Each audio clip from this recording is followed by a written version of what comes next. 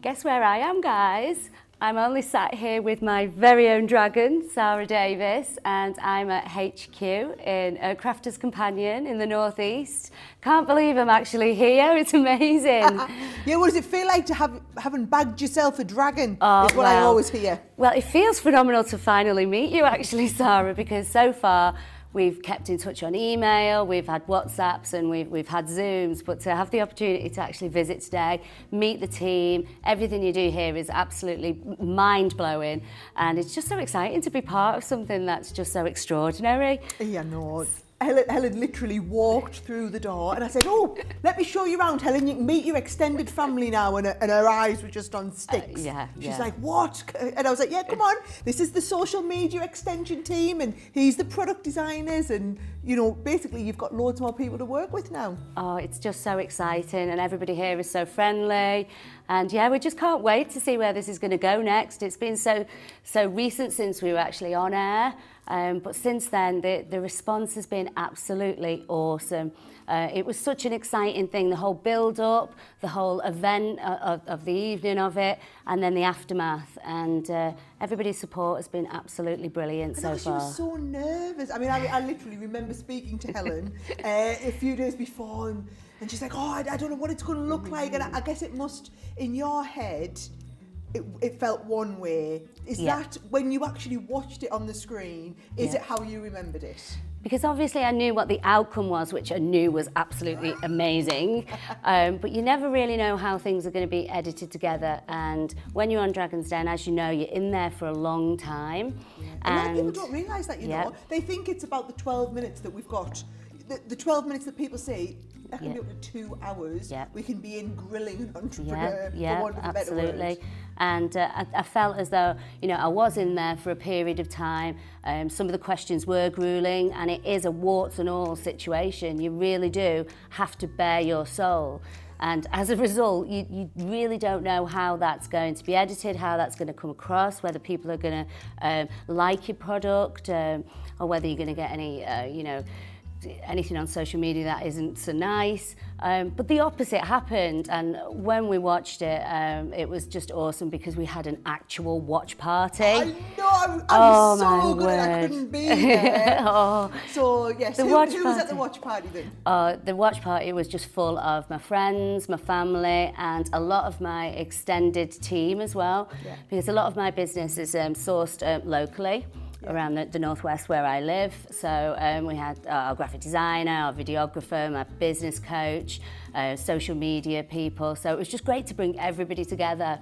And when you made that offer, Sara, I'm not joking, it was like we were at a football match. So did, did the people in the room not know what the outcome was? The majority didn't because I kept it. You know, you, must, you must come along. You, you know, so so it was a real good get together. It was a real feel good experience. Um, the room went off. Everyone was cheering, and uh, yeah, that was the start of a of a great night. After that, and we just celebrated then, and then we could just start seeing the uh, the sales coming in, the new sales. So Yeah. it's just absolutely awesome. So come on then. So before you went in the den, did you have any preconceived ideas of which dragon you wanted? And, and I'm not going to be offended if you don't say that to me because I know Uncle Touker likes to tell everyone I'm in the baby world, you know. Yeah, well, um, Touker was the person I thought was the right dragon for me, but it won't be the first time I've been wrong. Don't you worry, we'll be absolutely rinsing him for all of the contacts. Soon as we need any introductions anyway, we'll be asking him. Yeah. Um, working with you since we, we've started, uh, I can tell that we're just going to gel so well. It's easy and it's just the best result for Easy Tots. We're so glad to have you on board. I think what, what you know, business for me, it, it's all about people. Yeah, you know, is. it doesn't matter. It, it there's every business has the same challenges. Yeah. No matter whether they're a service or a product business, what sector they're in, what size they're, you go through the same challenges. Exactly. And, and for me, what it was is you came in and you were so enthusiastic and had such belief in your product. I just to me, you, you could have been selling me anything because you were what I bought into in the den there. The, the fact that the product was awesome was just a bonus to me. I always say, when people ask me about Dragon's Den, I always say, a fantastic entrepreneur can carry a mediocre pr- a product, but you can't have a phenomenal product and a mediocre entrepreneur. And when you find a one where you get both a phenomenal entrepreneur and a fantastic product, you've just hit the jackpot. And I, and I feel like that's what we've done here. Oh wow, I feel really that is such lovely feedback because sometimes when you do work alone, you don't always recognise how far you've come. So uh, going through this experience has um, has enabled me to give myself a little bit of a pat on the back and say, look, this is where we've taken it so far. People believe in you, Sara believes in us, and I know where we can take it next. Yeah, it, honestly, what it was for me is, I mean, my, my kids now are four and seven, so it feels like an eternity ago, but my niece, as you'll have seen in my little videos Yep, and whatnot, my niece is, is exactly at that stage, you know, she's just been through weaning and we have the food everywhere. And it just, as I was sitting there in the den and, and you know, we had the, we had our IKEA mat Uh, and. I had, and we were trying it and I'm thinking. I couldn't get it out. I remember this. I remember the exact problem. problem. and then I know what that community's like. If if you are out somewhere and someone's got a solution to a problem that every Yeah. mum's facing, where all their Oh, phones are out, how Need can it. we order one? Yep, and that's it. exactly this. Brilliant. And you know, the support that we've had from um, on our social media, they are very, very much part of our journey. Um, I feel like we couldn't have done um, any more with them. You know, the support that they've given us on the build-up, they were right behind us with their Easy Tots flags and, um, and all, all the way through the airing. So we put to them any questions that they would like to ask yourself or I. So I do mm-hmm. have some questions if you'd Come be happy to answer them. I am happy to bear all. You ask me whatever you want to know. Okay. Okay, this is from Mama to Isabella, Right. and she wants to know, Sara, where do you see Easy Tots in five years' time? Oh, what a great question. Honestly, I think I think this is just the beginning. And what you've done really, really well is you've built a brand and a following. And the one thing is, and you see this out on social media, mums want to see other mums doing well. They want to support and help Yeah, each other along yeah, the way. yeah. So to me, if I can just give you the support with your marketing, the extended team, the manufacturing and everything, I have no doubt you've got a head full of magic. And even if you don't, everybody out there will have a head full of magic with all the things that they want to see you to develop. I mean, we've already been having some chats today about different product ideas and how you where you could take this. Yeah. It might be that you need some help and support finding other manufacturers or engineers. All of that is just that's the enjoyable bit to me. Yeah. I'm a product Yeah. person. I love. I, I can't wait to get into the thick of the product with you. And honestly, well. People are always going to be having babies. There's always going to be huge demand for your product. It's just onwards and Hundred upwards. percent, hundred percent. Well, I'll take all of that, please. what a fabulous answer, thank you. Okay, this is an interesting one from uh, Raising Laney. Sara, how do you find balancing spending the time with your family, the time that you've got to commit to Dragon's Den, and running your, own business all at the same time? I get asked that one a lot, and it's hard because it's like different buckets. Mm-hmm. Yeah. So there's the mum Sara bucket, Yeah. there's the Sara running the business bucket, and then Dragon's Den for me, it's like I only ever had those two buckets, and Dragon's Den, it's not work, but it's not my family time. Yeah. So I find like I have to just find extra time out of nowhere to, to do all the Dragon's Den stuff as Yeah, well. yeah, Which it's I phenomenal. love. It's like my husband calls it my very expensive hobby. so, but, but, but it's the side that I love. But what I've found is, you know, the, the, the biggest thing that I think kills all working mothers is mum guilt. You can't Yeah. be everywhere all the time. You can't be all things to all people. So I always say, focus on whatever you're doing. Yeah. So for me, it was, you know, if I'm on a plane flying out to America and I have to go and do three days and I'm away from the kids, yes, it was devastating leaving the kids behind, crying at the door, clinging onto my legs or whatever. But there's no point sitting on the plane crying, Yeah. feeling sorry for myself for that whole 10 hour Get- get flight. I might as well spend the time prepping my show, getting ready for my meetings, catching up on my work emails, be in that moment because there's one Yeah. thing's for sure. When I land back the other side of this, Yeah. it's mum time. You know, work Sara's just worked really hard for them few days. Yeah. Mum Sara is on duty now, and we're not trying to be a little bit of both. We're then being the mum. So what you, you're saying is it's a mindset thing, isn't it? It's like be present in, in be present, in what, you're doing. and don't kick yourself for what you're not Yeah, doing. yeah, Don't and focus on the negatives, focus on the positives. That is so important because uh, we do beat ourselves up a lot. Um, I work all the hours, and um, yeah, sometimes it's it, it, you know it's, it's a necessary evil. But um, that's fabulous advice. That's absolutely brilliant. Okay, what have we got next? Um, okay, Highland Sense wants to know what made you join Dragon's Den. So, you'll all get this one, people with kids, okay? Right, so I've done quite a bit of investing over the years. So I've invested, I was part of an all-female investment group called Gabriel Investors, and um, and I really loved investing in other businesses. And I think the best way to describe it is most people who are entrepreneurs like to build businesses.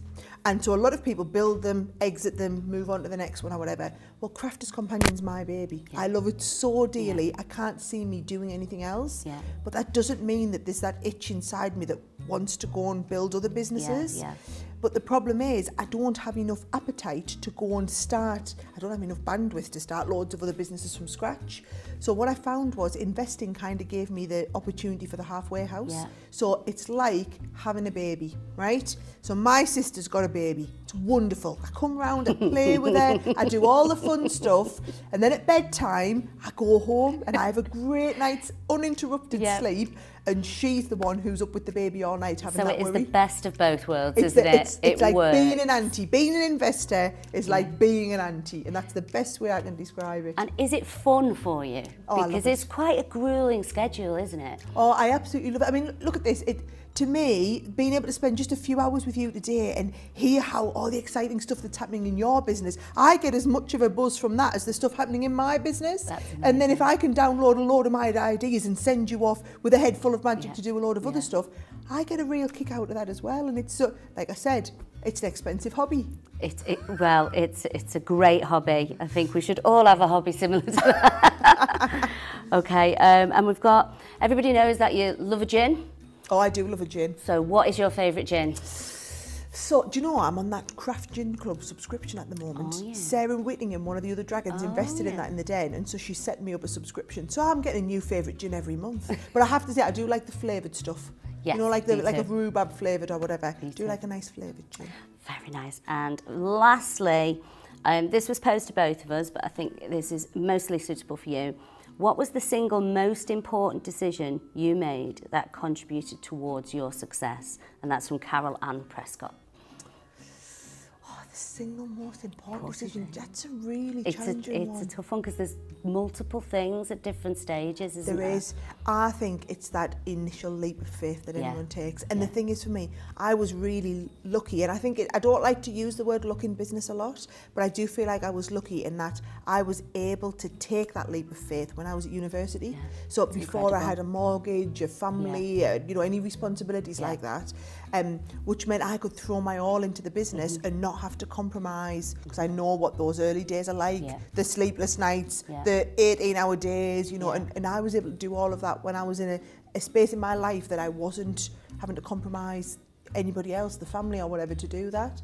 Yeah. So I think for me, it was it was being able to take that leap of faith really early on. How about how about for you? What was the most important bit for you? Um, I think I think for me there's been different stages. I agree with you that it is that initial leap of faith and committing to Yeah. and you know I'm going to do this and I'm going to give it my all. So um, I very first started in business in my mid 20s and um, at the time I had a career in education and I had you know my degrees and all of those things and my career plan was mapped out.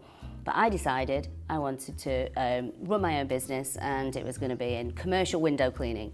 Didn't know a thing about commercial window cleaning at the time, but went away, did it, grew that business to, you know, we employed up to 18 people, and that was over a period of 10 years. But I left my career in order to take that mm-hmm. business, get that. And, and the same thing happened when I started this business, is I had to leave my previous business behind Yeah. because there wasn't enough of me to go around. And you know what? I remember grilling you about that exact thing in the den, and it was that which was a big contributor in me making the decision of yes, you're someone I want to invest in. Fabulous. Because, like I said before, skills are transferable in business. All businesses Yeah, have the same yeah. challenges. You'd proven that you'd made a success out of one business. You were just moving on to the next challenge, yeah. and you just needed some support in, in taking Yeah. that next step.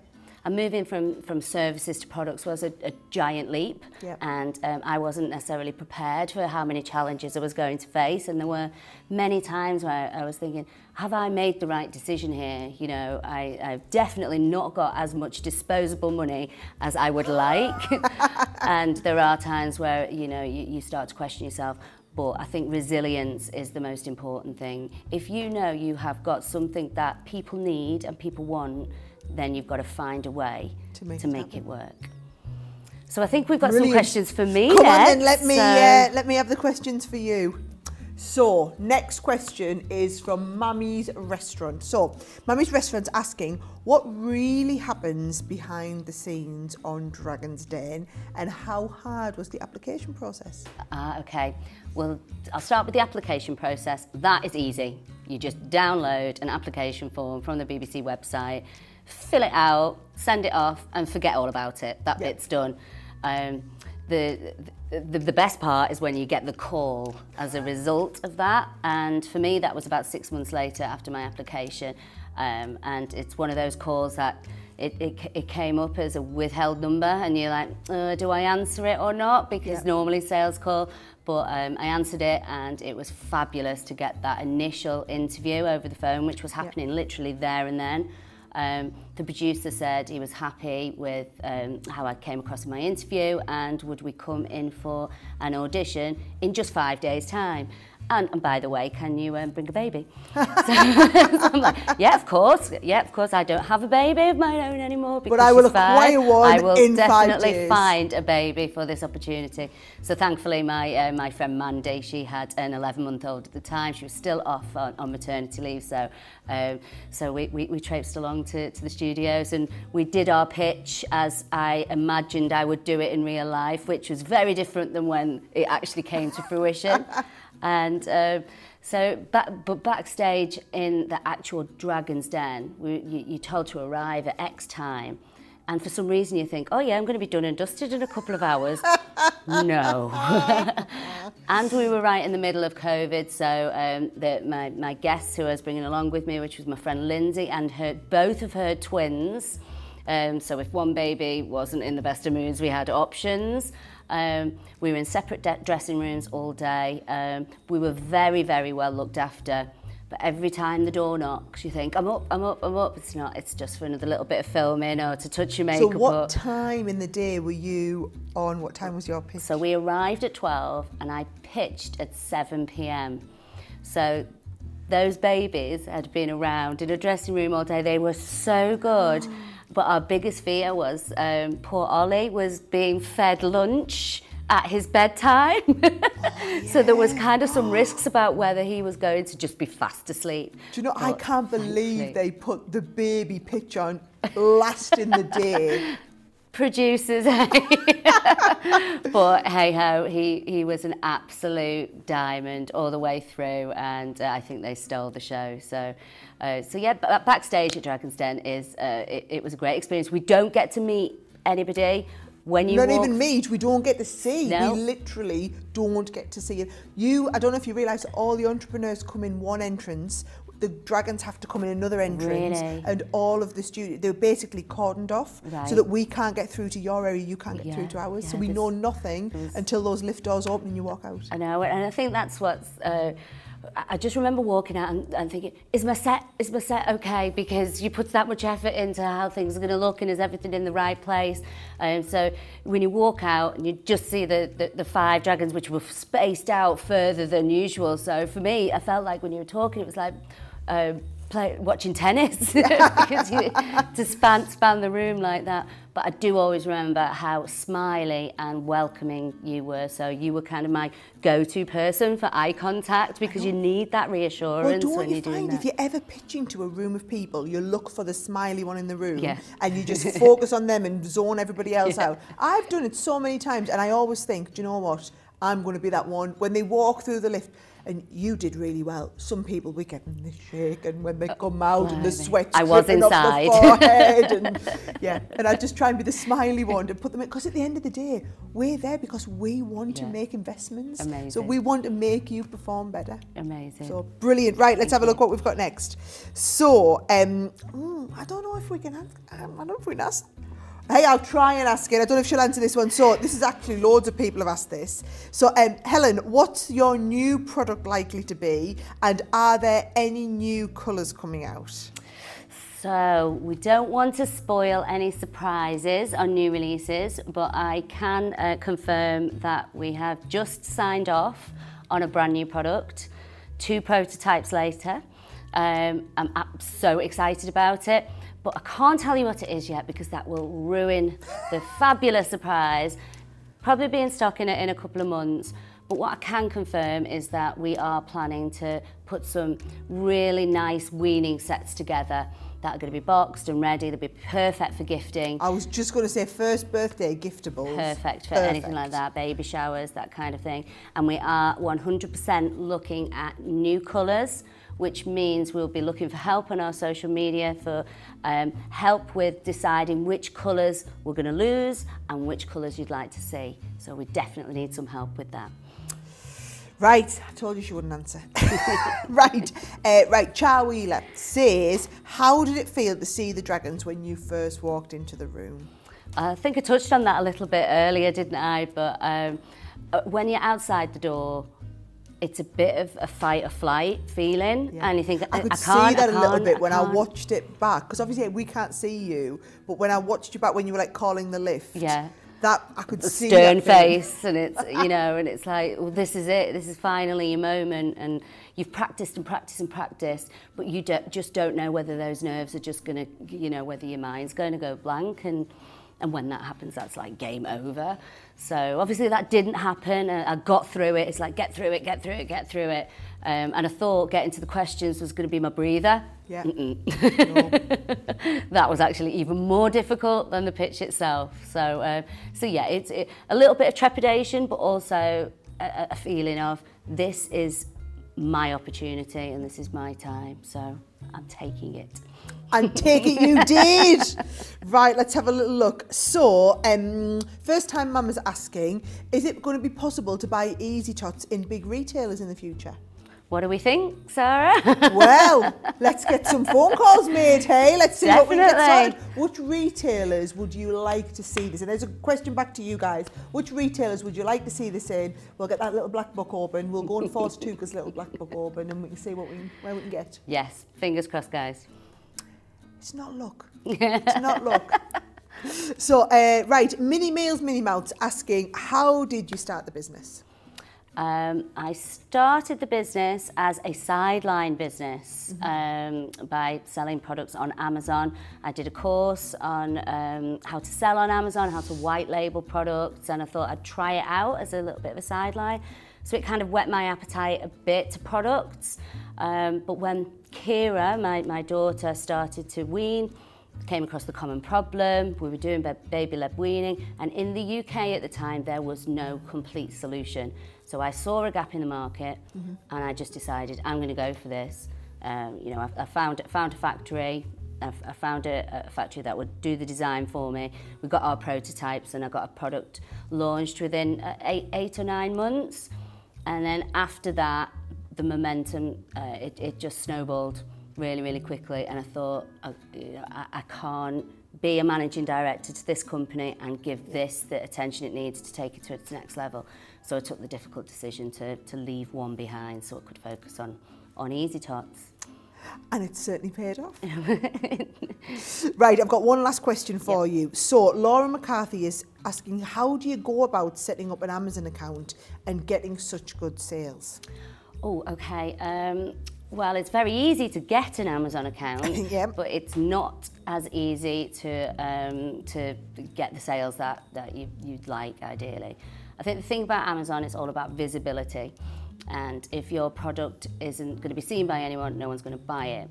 So, unfortunately, there is a, heavy element on, on marketing spend that you need to, to put into um, budgeting to making sure that your product moves from page dot dot dot further up the rankings where people will actually scroll through um, and that, that will involve um, ensuring that you've got consistent sales which would need to send um, directed traffic to.